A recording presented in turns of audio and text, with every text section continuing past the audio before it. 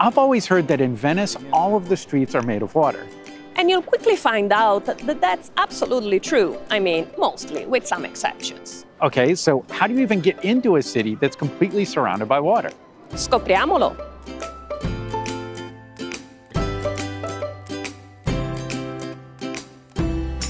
The main city of Venice is an island in an enclosed lagoon on the edge of the Adriatic Sea on the northeast coast of Italy. But that's not even the whole truth.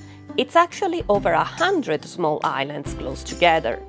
While it all feels like one unified city, there are endless waterways surrounding and weaving between these tiny islands. These are the famous canals.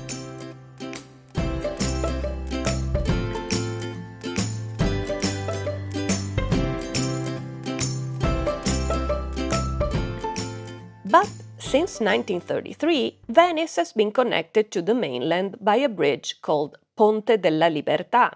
This is your only way into Venice if you're getting here by car, bus, or tram. You'll end up in an area called Piazzale Roma, where there are cars, paved roads, and even a parking garage. But this is the end of the road, literally. Your car stays here, Every point of entry into the rest of the city is strictly by foot or by boat. And that same bridge also carries trains. But if you're visiting the main city of Venice, you should make sure to book a ticket for Venezia Santa Lucia. There is a train station called Venezia Mestre one stop earlier, but that's on the mainland. It's not the historic Venice that you're probably expecting. When you're on the train, you'll hear the announcement for Venezia Mestre, and unless you know that's where you're going, you should probably stay in your seat. Wait a little longer until you hear the announcement for Venezia Santa Lucia. This is where most visitors will want to go, and it is the final stop for any train headed into Venice.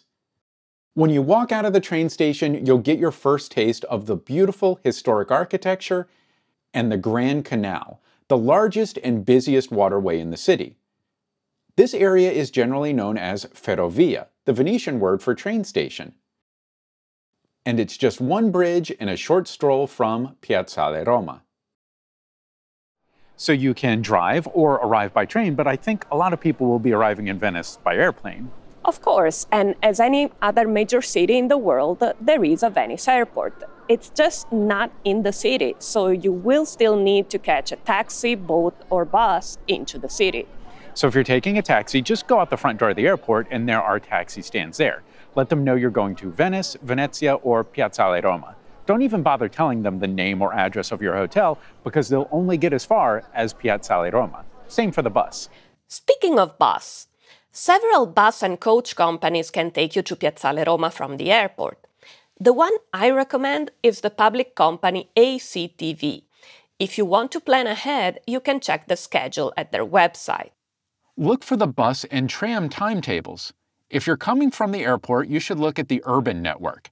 And at the time of this recording, Line 5 is the one that goes between Venice and the airport. When you look at the schedule, keep in mind that feriale means weekdays, including Saturdays, and festivo means Sundays and bank holidays. You can buy a ticket at the ticket office in the airport or you can use the vending machine at the bus stop. You'll find the buses lined up right in front of the airport. If you're using the ACTV bus, find this machine and buy a ticket for Aerobus. You can buy a one way ticket or you can get a round trip. With the Aerobus ticket, you're looking for bus number 5, destination Venice. But I think the best option is to arrive by plane and then take a boat from the airport. Now, we're not talking about the gondola, those don't go as far as the airport. And there are water taxis, but those are pretty expensive. I think the best option is a service called Alilaguna. It's basically like an airport shuttle, but on a boat. I suggest you go to the Alilaguna website in advance to identify the route you need. Set your language, then take a look at the different lines or routes. You're choosing between the blue, orange, or red lines, or blue, arancio, or rosa. Choose one to see the list of stops, or you can look at the map. You should do some research so you know where you're staying in Venice and choose the route that has a platform closest to your destination. For example, I usually stay right around here. On the blue line, there's no Alilaguna stop nearby, but on the orange line, the stop for Ponte Giulia is perfect. Once you've found the right line and you know which stop you want, then go back and switch over to the timetable section to check when the boat will leave the airport and arrive at your stop. Back at the airport, in the luggage pickup area, there's a machine to buy tickets for Alilaguna. Once you leave the luggage pickup area, you won't be able to get back to this machine, but that's fine because you can still buy your ticket at the ticket booth at the dock. For either Alilaguna or a private water taxi, find the signs for water transport and follow those. Find the ticket booth or biglietteria and you can buy your ticket there. And if you know the date you're returning to the airport, you might buy a return ticket at the same time. Find the line for your route, arancio, rossa, or blue. A few minutes before the scheduled departure, somebody on the boat will check your ticket and let you on the boat. As you get close to the city, you need to keep an eye out for your stop. These are small boat docks, but they're brightly labeled with black text on yellow. As you approach your stop, make sure the boat operators know you're getting off there. If you don't stand up and get moving, they're not going to come looking for you. If you already have your return ticket, that's great. If you don't, you might be able to buy it on the boat on the day of your departure.